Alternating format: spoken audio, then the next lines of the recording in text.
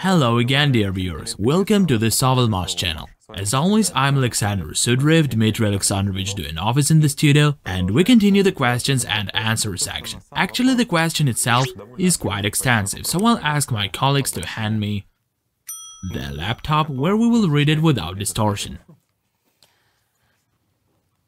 Good section. As an investor, I have a question.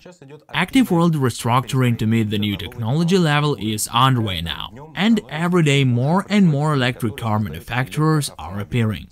Whether it's China or California, why haven't any of the companies tried to cooperate with you yet, Dmitry Alexandrovich? If our motors are really so productive, colossally superior to the other existing developments in this area, then I believe that this should certainly be in their best interests, since it will give them a huge competitive edge. And with their investments, the D&E will be built in say 2 or 3 months. Just imagine Tesla investing in Sovelmash.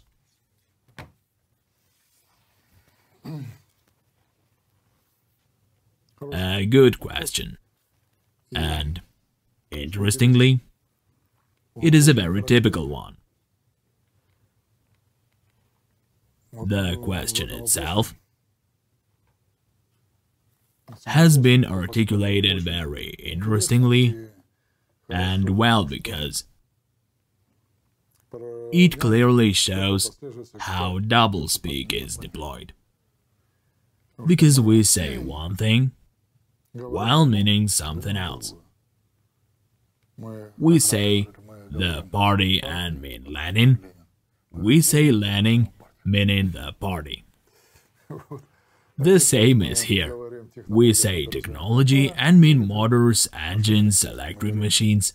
We say electric machines or motors and mean technology. Have you seen a good deal of motors? Slavyanka, Duyunov's motors, have you seen a lot? Personally, I have seen not so many of them firsthand, not so many. And the combined winding motors? There are significantly more of them, a hundred of thousands. So let's try to walk a mile in the shoes of decision makers. Well, let's say a company that makes electric cars. Here, for example, they bring me information that there is a technology, a good technology, that provides a lot of opportunities. Naturally, I will open it and ask what it is like. And the very first question I will ask is the following. Are the motors based on this technology that meets our needs and requirements produced? No. In this case, only one answer is possible. Well, how is this technology progressing now? Well, there is a modernization potential there, people rewind motors under license and so on. And what do we get from it? It doesn't suit us. It doesn't. There is also information that they are constructing a D&E there. What on earth is that? A design and engineering technology department that will develop customized motors and put them into production. I wonder if they will be engaged in producing traction motors. No, not only traction motors, the general purpose industrial ones. So what? Well, we are completing the construction, developing, attracting investments, and if it will attract additional investments now, it will go much faster, they will come into operation not in the second half of 2022, but in the fourth quarter of 2021. Oh. Then I wonder if we provide funding to them now, will we get the controlling interest? No, we won't. And so, they won't be controlled by us then. We will to some extent influence the decision making, but ultimately not. We pay now, they will complete the construction and develop motors not only for us but also for others. And we will create our competitors with our own hands. Do we need it? The answer is again no. What are we going to do? Well, if they pull through, stand on their own feet, If they start producing motors, then yes, we will try to buy all the motor batches so that our competitors do not get any.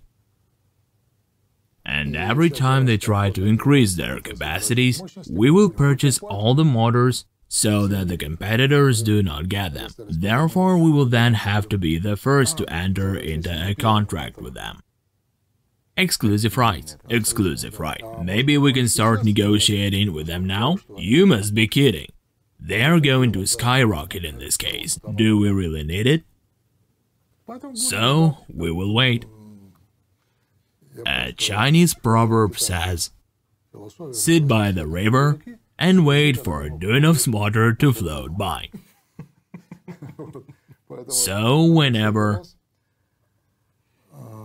you want to delve into a particular issue, you should put yourself into the shoes of the one who is to take some actions. Why would they do that? Why would they do that? Personally, I wouldn't do that. Therefore, the actions that seem logical in layman's terms appear to be simply illogical, harmful through a business prism. And that is why no one will take such steps. Although many people know about this technology, and all modern manufacturers know about this technology. And after all, each of them is waiting for the patent expiration, and then they will be able to independently develop their own designs. Therefore, this is a race against time, but since everyone understands perfectly well that we have developments for the future, we are to be restrained. And one of ways to restrain is to defame. The second element of restraining is concealing and so on. And then bang, someone can't stand the tension anymore and starts running. They won't, until we pose a threat. And that's when they will start acting. There is no way escaping this. Someone will be the first to lose their nerve, and the rest will follow. So it will be necessary to enter into contracts that are attractive both for us and for them, but at the same time all batches are needed. There is no other way. But to do this, we must reach a certain stage in our development. That's why they don't rush to us. I hope I've answered the question pretty comprehensively. Thank you. Therefore, always, dear colleagues, dear viewers, try to put yourself in the shoes of another person. And before you think, that someone did something wrong or did it incorrectly, walk a mile in their shoes and assess the situation from their point of view. Because every birdhouse has a different point of view. I once had two photos taken from the same point, taken from one place, but in the first case the camera was lower and in the other case it was one and a half meters higher. And here in one picture you can see the riverbank, beauty, trees, nature, beautiful. And the picture taken one and a half meters higher shows a broken asphalt road, a lane with a garbage dump, and a ramshackle fence covered with wild grapes. Two different shooting points and completely different pictures. When you go down, there is one thing, the rising warm air that covers the picture. That hides it, you don't see it in the picture. But when you go higher, you can see it. Therefore, it is necessary to take the position that allows you to see clearly.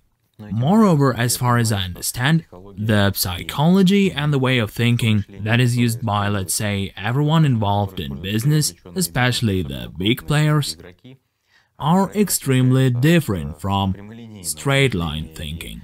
And this way of thinking has a sufficient number of intricacies. All the actions and tasks that are taken, that are performed, are not always what they seem to be at first glance. I generally prefer taking the straightforward road in relationships and in everything else. But I understand that real life is like that, and it is taken into account in our actions. Thank you. See you again.